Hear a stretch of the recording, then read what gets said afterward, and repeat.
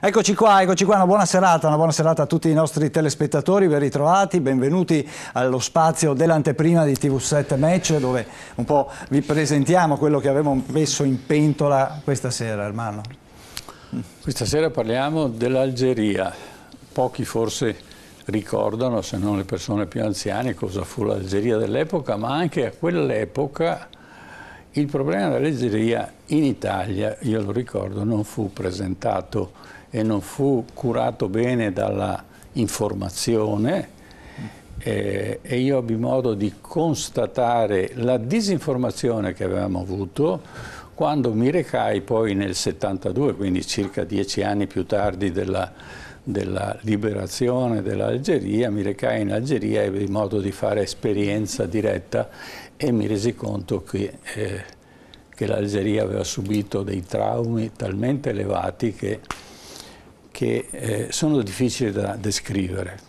Ho parlato con persone che mi raccontavano fatti di famiglia, fatti nei paesi, nelle, nelle città, cosa succedeva nel periodo soprattutto della guerra algerina, franco-algerina. Ma naturalmente nell'immaginario nostro, eh, avendo una cultura diciamo legata a un certo tipo di eh, capacità di invadere il terreno tuo e farsene un diritto non era così grave poi. Ma in realtà oggi a distanza di tempo dove le cose sono, hanno preso un equilibrio un po' diverso, possiamo pensare come sia stata sacrificata la civiltà algerina e l'economia algerina da un trauma di questo genere.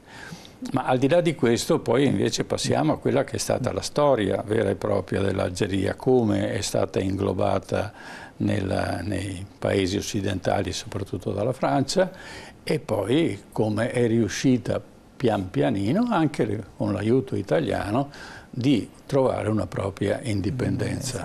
Certo. Ecco, in questo senso eh, è il motivo per cui facciamo la prima parte di questa trasmissione. Certo, certo. Poi parleremo, torneremo ad occuparci nella nostra rubrica del Memento, torneremo a occuparci dei lavori della Pedemontana, torneremo eh, dove si sta lavorando per realizzare la galleria eh, nella zona di Malo eh, Vallugana e, e, poi in chiusura invece, ultima parte della trasmissione, la dedichiamo alla terza età, agli anziani, alle problematiche legate agli anziani e a questo invecchiamento continuo e eh, progressivo della, eh, della popolazione, dove ci porterà, che tipo di economia ci sarà nel futuro? Ecco, queste sono le domande che porremo ai nostri ospiti. Adesso andiamo un attimo in pubblicità, dopo torniamo subito, sigla e vi presentiamo gli ospiti di questa prima parte. Tra poco.